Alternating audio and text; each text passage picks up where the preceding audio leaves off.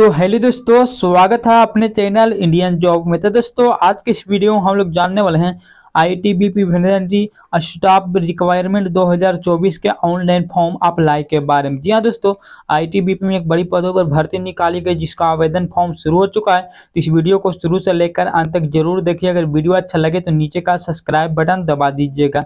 इस वीडियो हम step by step बताने वाले हैं कि आप आवेदन फॉर्म किस तरह से भर पाएँगे। तो अगर वीडियो अच्छा लगे तो अपने दोस्तों में इस वीडियो को ज़रूर शेयर कीजिएगा। तो स्टेप बाय स्टेप आवेदन फॉर्म भरने से पहले इस भर्ती के बारे में कुछ जानकारी देना चाहेंगे, जो आपके लिए आवेदन फॉर्म भरने में महत्वपूर्ण साबित होगा। तो आप यहाँ पे देख सकते हैं दोस्तों, यहाँ पे स्टार्टिंग डेट इसका जो रखा गया है, वह 30 अगस्त 2024 से रहने वाले दोस्तों, और यहाँ पे देख सकते हैं इसका लास्ट डेट 29 सितंबर 2024 तक चलने वाली दोस्तों। आगे यहाँ पे देख सकते हैं पीईटी और पीएचडी का डेट यहाँ पे अवेलेबल नहीं दोस्तों, जल्द ही यहाँ पे अवेलेबल होगा। आप यहाँ पे देख सकते हैं अप्लीकेशन फ़ी का बारे में बात किया जनरल ओबीसी डब्ल्यू एस सौ रुपये में आवेदन कर पाएँगे। वहीं S C S T E S M यानी कि एक सर्विस मैन बिल्कुल फ्री में आवेदन कर सकते हैं ऑल फीमेल कैंडिडेट बिल्कुल फ्री में आवेदन कर सकते हैं। दोस्तों, यहाँ पे पेमेंट मोड आपको ऑनलाइन करना होगा। आप यहाँ पे देख सकते हैं। आगे यहाँ पे एज लिमिट का बारे में जानकारी दिया गया जो आपका एज अठारह से लेकर सत्ताईस वर्ष के बीच होनी चाहिए। दोस्तों एस के लिए यहाँ पे देख सकते हैं कॉन्स्टेबल के लिए यहाँ पे देख सकते हैं, अठारह से लेकर सत्ताईस वर्ष के बीच होनी चाहिए। वहीं पे देख सकते हैं एनिमल ट्रांसपोर्टर के लिए अठारह से लेकर पच्चीस वर्ष के बीच होनी चाहिए। दोस्तों, यहाँ पे देख सकते हैं, यहाँ पे पूरी जानकारी स्टेप बाय स्टेप मेंशन किया गया आगे यहाँ पे देखिए सिलेक्शन प्रोसेस के बारे में आपकी जानकारी दिया गया, जो पीटी होगा पीएचटी होगा। दोस्तों रिटर्न एग्जामिनेशन होगा। डॉक्यूमेंट वेरिफिकेशन होगा और मेडिकल एग्जामिनेशन होगा। दोस्तों, आगे यहाँ पे देख सकते हैं, एजुकेशन क्वालिफिकेशन के बारे में बात की जाए, डिप्लोमा मीन होनी चाहिए। दोस्तों एस के लिए कॉन्स्टेबल एनिमल ट्रांसपोर्टर के लिए दसवीं पास होनी चाहिए। दोस्तों कॉन्स्टेबल के लिए यहाँ पे देख सकते हैं, दसवीं पास होनी आवश्यक है। दोस्तों, आगे यहाँ पे देख सकते हैं, पोस्ट वाइज वैकेंसी का डिटेल दिया गया, जो टोटल एक सौ अट्ठाईस पदों पर भर्ती निकाली गई। यहाँ पे देख सकते हैं, हेड कॉन्स्टेबल यहाँ पे के लिए नौ पद पर वैकेंसी है। दोस्तों कॉन्स्टेबल के लिए यहाँ पे चार पद पर वैकेंसी है, वहीं देख सकते हैं। एस के लिए यहाँ पे वैकेंसी कैटेगरी वाइज करके देखने को मिलेगा। दोस्तों, आप यहाँ पे देख सकते हैं कॉन्स्टेबल एनिमल ट्रांसपोर्टर के लिए 115 पदों पर भर्ती निकाली गई है। आप यहाँ पे देख सकते हैं, इसमें पूरी जानकारी स्टेप बाय स्टेप दिया गया दोस्तों तो चलिए हम स्टेप बाय स्टेप बताते हैं कि आप आवेदन फॉर्म किस तरह से भर पाएँगे। तो आप वीडियो तो आप वीडियो में अंत तक बने रहिए। यहाँ पे देख सकते हैं दोस्तों, आवेदन फॉर्म भरने के लिए आईटीबीपी का ऑफिशियल साइट पर आना होगा दोस्तों। यह आईटीबीपी का ऑफिशियल साइट है दोस्तों। इसी वेबसाइट के माध्यम से आप आवेदन फॉर्म को भर पाएँगे दोस्तों। यहाँ पे देख सकते हैं, अगर आप इस साइट के माध्यम से पहले किसी भर्ती के लिए आवेदन कर चुके हैं तो आपको यहाँ पे सिंपली लॉगिन वाले ऑप्शन पर क्लिक करना होगा दोस्तों। लॉगिन वाले ऑप्शन पर क्लिक करने के बाद आप यहाँ पे आईडी और पासपोर्ट डालकर सीधे यहाँ पे डैशबोर्ड पर रेडायरेक्ट हो जाएगा दोस्तों। वहाँ से आप आसानी से आवेदन फॉर्म को भर पाएँगे।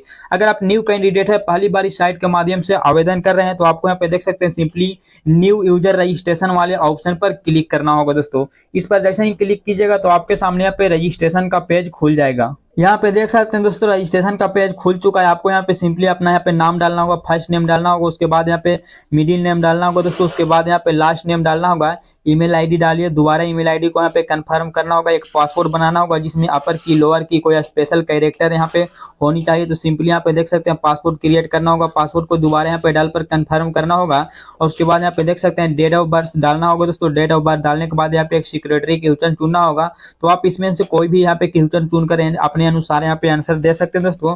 जब यहाँ पे देख सकते हैं इस क्वेश्चन को ध्यान रखिएगा दोस्तों, आपने जो डाले हैं, भविष्य में कभी आप अगर आप पासपोर्ट को भूल जाइएगा तो आप चेंज कीजिएगा तो इसी क्वेश्चन का यहाँ पे आवश्यकता पड़ेगा दोस्तों। तो आपको यहाँ पे आंसर और क्वेश्चन बताना होगा दोस्तों। उसके बाद यहाँ पे देख सकते हैं कैप्चर को डालना होगा और कैप्चर डालने के बाद आपको नीचे आना होगा और सबमिट वाले बटन पर क्लिक करना होगा। सबमिट वाले बटन पर क्लिक करते हैं आपका रजिस्ट्रेशन यहाँ पे सक्सेसफुली सबमिट हो जाता है दोस्तों उसके बाद यहाँ पे लॉगिन करना होगा तो सिंपली यहाँ पे देख सकते हैं यूज़र आईडी जो ईमेल बनाया है दोस्तों उसको यहाँ पे यूज़ करना होगा और उसके बाद जो पासपोर्ट बनाया है रजिस्ट्रेशन करते वक्त उसे डालना होगा और उसके बाद यहाँ पे देख सकते हैं कैप्चर फिल कर कर आपको यहाँ पे लॉग वाले ऑप्शन पर क्लिक करना होगा दोस्तों उससे पहले आपको एक बात बता देना चाहता हूँ दोस्तों रजिस्ट्रेशन कर रहे होंगे दोस्तों तो उसमें देख सकते हैं ईमेल पर एक यहाँ पे लिंक भेजा जाएगा दोस्तों उस पर यहाँ पे क्लिक करना होगा तब यहाँ पे रजिस्ट्रेशन आपका यहाँ पे ईमेल आईडी और पासपोर्ट को एक्टिवेट किया जाएगा दोस्तों तो यहाँ पे देख सकते हैं रजिस्ट्रेशन करने के बाद आपको यहाँ पे ईमेल आईडी पर जाकर क्लिक करना होगा दोस्तों, उस पर एक लिंक भेजा जाएगा, तभी ईमेल आईडी का पासपोर्ट और यहाँ पे देख सकते हैं यूज़र नेम और पासवर्ड एक्टिवेट होगा दोस्तों, उसके बाद यहाँ पे लॉगिन कर पाएँगे।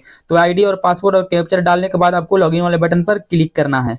उसके बाद यहाँ पे देख सकते हैं आपको डैशबोर्ड पर यहाँ पे रीडायरेक्ट किया जाएगा दोस्तों आप यहाँ पे देख सकते हैं डैशबोर्ड उसके बाद यहाँ पे प्रोफ़ाइल डिटेल अपलोड इमेज यहाँ पे अपलोड डॉक्यूमेंट और उसके बाद यहाँ पे अप्लाई करना होगा दोस्तों उसके बाद यहाँ पे माई एप्लीकेशन से प्रिंट आउट यहाँ पे निकाल पाएँगे तो सबसे पहले यहाँ पे देख सकते हैं दोस्तों आप यहाँ पे लॉग आउट भी हो सकते हैं तो यहाँ पे देख सकते हैं आपको यहाँ पे प्रोफ़ाइल डिटेल वाले ऑप्शन पर क्लिक करना होगा दोस्तों जैसा ही इस ऑप्शन पर क्लिक कीजिएगा तो आपको यहाँ पे देख सकते हैं आपको यहाँ पे प्रोफ़ाइल भरना होगा दोस्तों प्रोफ़ाइल सेट करना होगा तो सबसे पहले नाम यहाँ पे देख सकते हैं लास्ट नेम भरा हुआ है मोबाइल नंबर डालना होगा, फादर नेम डालना होगा और उसके बाद मदर नेम डालना होगा, उसके बाद यहाँ पे देख सकते हैं दोस्तों कंट्री में यहाँ पे इंडिया सेलेक्ट करना होगा। उसके बाद यहाँ पे आपको परमानेंट एड्रेस डालना होगा दोस्तों सिंपली यहाँ पे लाइन वाई लाइन टू को मिलाकर यहाँ पे फुल एड्रेस को यहाँ पे डाल सकते हैं दोस्तों विलेजिया सिटी के अनुसार, जहाँ भी रहते हैं।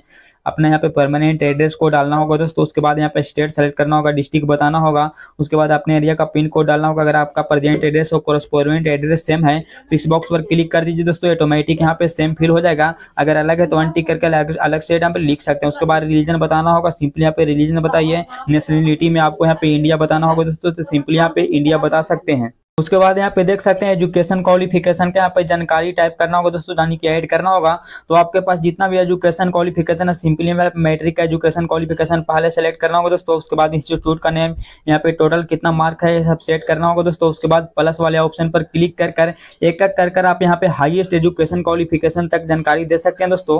यहाँ पे देख सकते हैं मैट्रिक का डिटेल भरने के बाद इंटरमीडिएट का डिटेल भर सकते हैं, दोस्तों। उसी प्रकार से प्लस वाले ऑप्शन पर क्लिक कर आपको यहाँ पे ऐड करना होगा।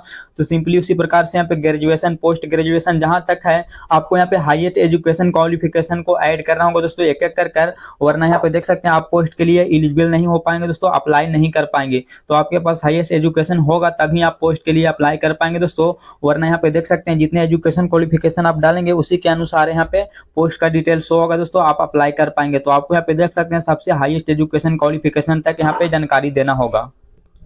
उसके बाद आपको जेंडर बताना होगा मेल है फीमेल अपने अनुसार मैरिड है स्टेटस आपको बताना होगा मैरिड है अनमेरिड है, उसके बाद यहाँ पे कैटेगरी बताना होगा, आप किस कैटेगरी से बिलोंग करते हैं तो सिंपली अपना कैटेगरी चुनिए, उसके बाद यहाँ पे अगर आप एक सर्विसमैन है तो आपको यस करना होगा, और नहीं तो सिंपली इसे छोड़ भी सकते हैं दोस्तों।